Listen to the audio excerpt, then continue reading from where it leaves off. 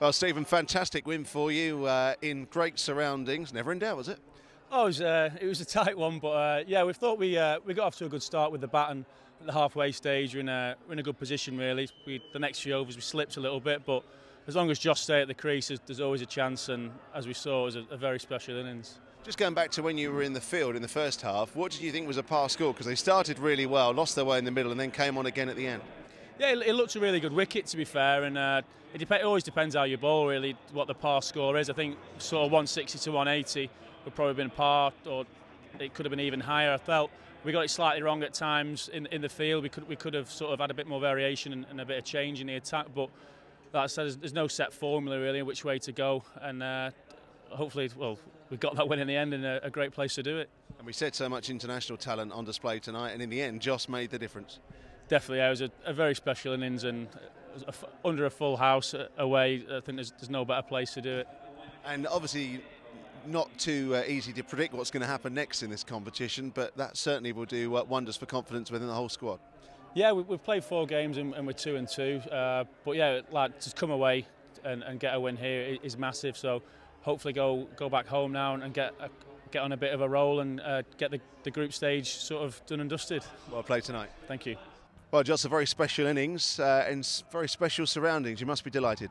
Yeah, delighted. You know, it's great to get back in with the Lancashire lads and, and to play here at Headingley and get the win. You know, it's exactly what the team needed to um, kickstart the 2020 campaign. Um, you know, no better place to do that. Obviously, you had a box seat behind the stumps in the first innings. What did you think was a par score? I thought about 170. I think they got a few too many. Um, you know, maybe in hindsight we could have looked to bowl a few more seam. You know, those cutters at the end of the innings looked really hard work. Um, but we always know chasing that you're only ever one or two good overs away. Um, there's a hell of a lot of pressure on the bowler. Um, you know, probably more so than the batter. You know, and those and he knows if myself or James Faulkner or Crofty was there at the end, we're going to be really close. And obviously, when you came in, it wasn't necessarily the first ball. You actually did look at conditions, it seemed, and then accelerated as uh, you went on. And in the end, every ball was disappearing. Yeah, and I think you know that sometimes that's important. That's not the way I like to go. I like to come in and, and try and dominate from ball one. You know, whether that might be just between, by running between the wickets hard. And but I, I want to score. I want to score quickly straight away. Um, but you know, as you know, as the more you get in, the better the pace you get of the wicket. Um, and you know, if you're there at the end, um, you know, there's a lot of pressure on the bowler. And the guys have done well in the championship without you. I guess now this can really kick-start their T20 campaign.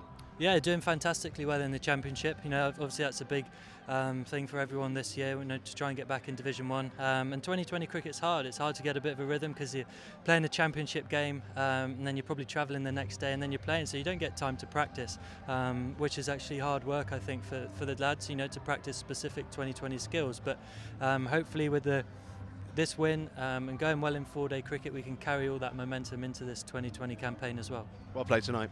Thank you. Thank you.